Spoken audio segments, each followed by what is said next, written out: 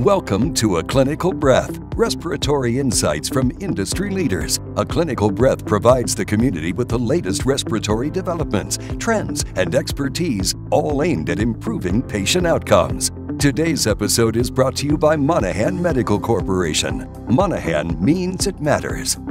This podcast is for informational purposes only. It is not intended to be a substitute for professional medical advice, diagnosis, or treatment. Opinions are those of the participants and do not necessarily reflect those of Monaghan Medical Corporation. Thank you for joining us for a clinical breath, respiratory care insights from industry leaders. Joining me today is Dr. Michael Bowman. We're going to talk about sports participation for a patient with asthma. Great. Let's begin by having you tell us a little bit about what some of the limitations are for exercise in a patient with asthma in terms of the perceptions, the limitations, the induction of bronchospasm. You have it, you name it. It's a challenge that um, children with asthma face, and their parents and school staff, coaches, everybody has difficulty really knowing what's going on because in a lot of children, uh, exercise can be a major trigger for their uh, difficulty breathing. They get short of breath. They may not uh, wheeze, sometimes they do, but they may cough or they may just feel like there's an elephant sitting on their chest. And so uh, all they know is that it's not fun. And they don't realize that other classmates or cousins or siblings have a ball uh, playing hard and roughhousing and everything. They just know that they feel crummy when they do it. If they wheeze, that's much easier for parents and others to recognize. But if they don't, it's a real challenge to know what's going on. I see kids out at recess, and sometimes people are hanging back. If they don't participate in recess, there are other reasons, but that might be one that they just don't want to start feeling bad. Right. Do you see that? Yes, very definitely. And uh, I think that when youngsters are considering uh, trying out for eight year old soccer or something, um, they uh, may have no experience, they may have no friends on the team, they may be self conscious, or they may have asthma. There are lots of reasons for not doing it.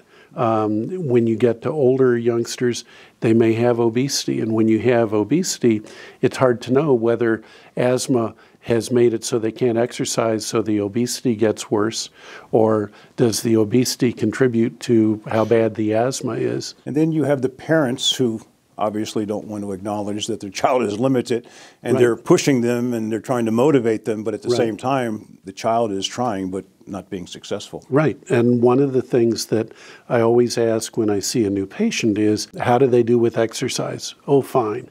Uh, what do they do? Well, she plays with dolls a lot, or he likes uh, uh, Nintendo. Um, and we find that the kids never do anything.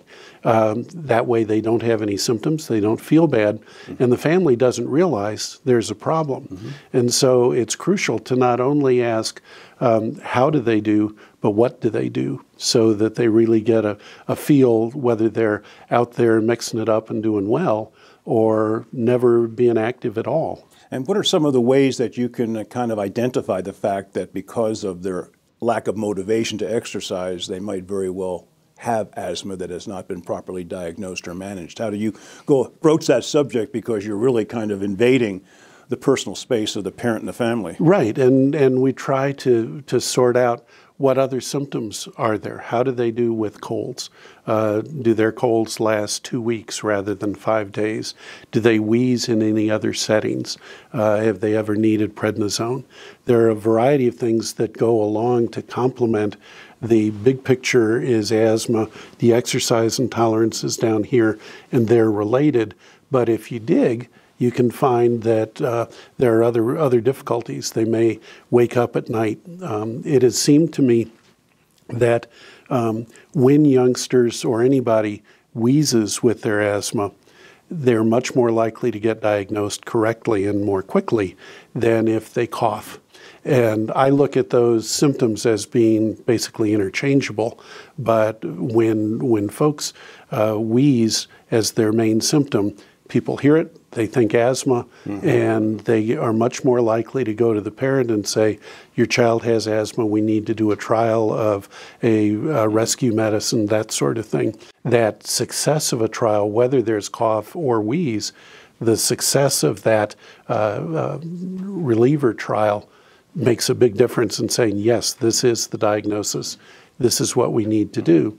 And we need to set for the parent and the child what our expectations are. They need to be able to play hard every day. How do you approach? I know you talk to the parents, but sometimes the children, out of the mouths of children comes truth. Yes. How do you approach talking to the children? And sometimes, probably without the parent being present? Right. Most of the time, I think if it's a uh, early teenager or older, you can probably get by without uh, having the, the parent present. We use in clinic a um, um, asthma control test that we give to the, the family and the 5 to 11 year olds. They have, the, the child has a part and the parent has some questions. Mm-hmm. And so we use one of the questions is exercise. And so the child will wind up saying good, bad, or indifferent. And very mm-hmm. often we'll have the parent say, I had no idea you couldn't run around the, the school. Well, you never asked me. And so that use is a way of finding out from the child what's going on, and then asking, um, what do you like to play? Uh, what do you like to watch? What's what's your favorite sport? Who do you look after? Who's your hero mm-hmm. or heroine in? Uh, so these are questions that even with the parent, the child will be able to answer freely without any intimidation. Right, yeah. and and sometimes parents are overprotective. Sometimes they're pushy. They will sometimes tell the the school uh, personnel that uh, their child has asthma and uh, can't do PE. Other times they'll not say anything because one of the things that athletic trainers find is that parents may not admit that their child or their teen has asthma because they're afraid if they're known to have asthma, they're not going to get a fair shot at making the team. Right. And so trying to get the parents comfortable with telling it as it is in the school setting is really important in, in both directions. In, in, an earlier podcast, we talked about the challenge of getting school nurses to be more involved. How about athletic trainers now moving into the teenage years where a lot more involvement, especially with organized sports? Are the sports trainers and the coaches getting on board with this to your satisfaction? Um, one of my side projects right now is working on a project to rewrite the asthma related expectations for athletic trainers. So hopefully in the next year we will have a new set of updated uh, expectations of competency for athletic trainers. Uh, it's interesting that um, a fair number of teens in schools, the nurse's office may be a long way away from where they are, but they're on the field or in the locker room every day or several times a day. And so their key staff person that they relate to the most may well be the athletic trainer. Mm-hmm. And so my goal is that they these trainers become as interested in asthma and its successful control as they are in uh, um, concussions and other things which are perhaps more popular about consequences of sports because uh, we expect folks to be able to, to participate at the highest level in spite of their asthma. Now, let's talk a little bit about exercise induced asthma. Uh, why don't you kind of clarify that for our audience because that gets tossed around an awful lot, and yet at the same time, it is quantifiable, I understand. Yes. Well, uh, exercise induced bronchospasm is a term that was uh, prominent uh, in the late 1900s, and it was viewed and, and shown to be related to cold, dry air. And I think of it as when uh, adults go skiing, or kids, uh, that they may wind up having major asthma attacks. There is also a situation where exercise is a trigger for garden variety asthma. And I think that is very common in kids and under recognized because it's convenient for folks to say, oh, it's just EIB. When in fact, if you look carefully, there are a whole lot of other features of poorly controlled asthma mm-hmm. besides just the the So the asthma is there, it's just the trigger, in this Yes. case, is, is the exercise. Right, because one of the major treatments or preventives for EIB is warm up. That there are are very detailed uh, um, preparation uh, protocols for folks to uh, try to to minimize their EIB flare with how they warm up prior to going up on the slope or whatever else they do. So there's warm up and then there's cool down after the exercise. Exactly. And that winds up uh, uh, decreasing to a great degree the symptomatology or the severity of their asthma flare. What about the concern that parents have about the uh, illegal use of certain performance enhancing drugs? Now, albuterol taken pre exercise, is that acceptable? Is that considered It's my un, it's my understanding that that is that is okay, but the the general rule is the higher up and, and more official or competitive the the sports teams are AAU and that sort of thing, they are much more uh, precise in terms of what is acceptable.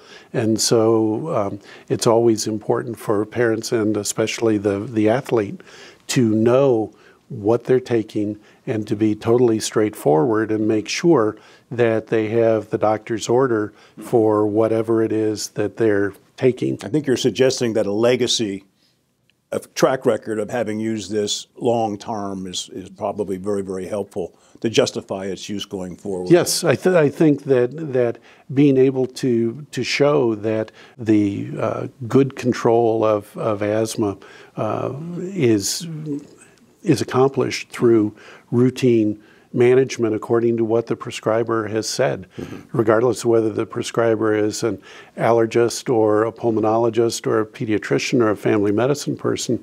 If they've gotten it right and gotten to a, a regimen that works, uh, recognizing the need to to see uh, exercise triggered flares, um, trying to to do wind sprints on a really hot and humid day, uh, that may still require albuterol rescue.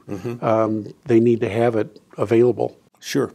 And at the same time, when we talk about the steroids, we mentioned before the inhaled steroids tend to be much, much less of an impact physiologically than Yes. the, the Arnold Schwarzenegger Right. ones, which are really the performance enhancing, enhancing ones. And uh, people, uh, I think there's been enough communication between asthma experts and the sports community to recognize that this, these things are okay. They're not, they are focused on the lungs and the airways rather than uh, trying to make muscles stronger or quicker. Uh, it's of great interest to a lot of youngsters. I always keep a list in my office of um, uh, athletes, top well known athletes who have asthma, so that uh, our patients can say, oh, Jackie Joyner Kersee, uh, I like track. She was an Olympian. She won the Olympics. She has asthma. If you're a swimmer, Michael Phelps has asthma. Um, uh, David Beckham has asthma. Soc- I mean, soccer, that's the one that most of the younger kids are Right. starting to play anyway, Exactly. much earlier, like five, six, seven year olds. Right. And and that's why we actually have more issues, I think, for participation by our kids with asthma for soccer and basketball and probably tennis compared to baseball and softball and track. If they're trying to be a cross country person, obviously that's an issue. But um, many of the other uh, settings are not just continual minute by minute by minute running, whereas soccer and uh, uh, uh, basketball are. And so those are things where kids need to know I can do this.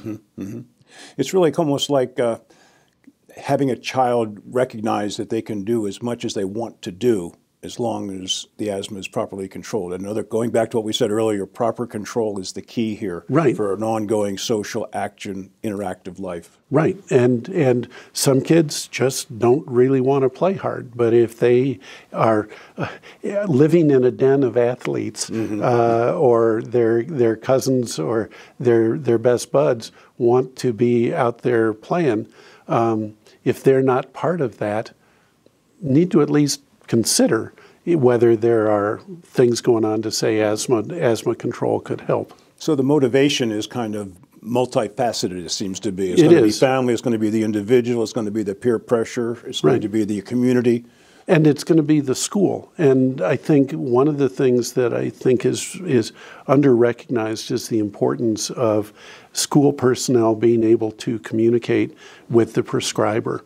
Um, we've tried to get, uh, it's still an ongoing challenge to get the um, health plans, Medicaid plans, and insurance plans to include school personnel on their acceptable team because generally it includes the family, the prescriber, and the health team. Mm-hmm. And the school nurse or coaches are not in there at all. And so when the folks Child at school. Spending 50, 60% of their time in that environment. Exactly. And exercise may be the, the toughest environmental exposure, so to speak, that the child endures. And it's the, the kids or the, the adults at school who see that. And so trying to make it that they can feel comfortable communicating uh, to the parent and to the prescriber what's going on or to the case manager for the insurance company. That can be a way of getting it to work in terms of recognizing where there's a problem. I think we probably would need a really committed physician such as yourself talking to that case manager at the health plan. They're also known as the gatekeepers. Yes. But it seems to me you're bringing out a much broader aspect than just the dollars and cents for the medications. You're talking about a much greater impact on that health plan and also on the family and the patient, and in this case, the child. Yes, very definitely. And, and we wind up putting it um, uh, in terms of things that the health plan can uh, recognize or pay attention to. I point out that um, one trip from school to the ER by paramedics uh, will buy 40 spacers. Right. And a night in the ER will buy 60 spacers. Mm-hmm. And so if the health plan says you can only have one spacer once a year, that is stupid. And so uh, trying to recognize that good care uh, that keeps the child well or, or less symptomatic, more normal, um, will wind up saving money in terms of the overall cost because you're markedly decreasing sure. the visits to the ER and those sorts of things. And that says nothing about attendance at school, uh, general feeling of I can do this, self confidence, sure, sure. all of those things. You know, I used to help hear people say the most expensive ride to the emergency room is the 911, the paramedics, and the most expensive door into the hospital is the yes. emergency room door. Yes. So exactly. we want to avoid both of those, and it is possible to do. It is, very definitely. But I think having more communication and appreciation for what the, the teachers, the nurses, the coaches, and the athletic trainers can see at school that needs to be included in the overall assessment of how the youngster's doing. And folks or school nurses tell me they have problems getting asthma action plans from the pediatricians to them in school, and that they wind up having some difficulty getting uh, approval to do an adequate control of a flare up of symptoms, whether it's exercise triggered or whatever. And so that's another area where we need to have the medicines and the, the instructions for them uh, with the school nurse, the after school, the athletic folks, the field trip people, as well as the grandparents who do daycare after school and that sort of thing. Well, Dr. Bowman, I think hopefully this view viewers will recognize what you've said, and thanks again for sharing your insights with us. My pleasure. Thank you very much. You've been watching A Clinical Breath Respiratory Insights from Industry Leaders, brought to you by the Monaghan Medical Corporation. Monaghan means it matters. Thank you for watching, and tune in again for more respiratory related topics.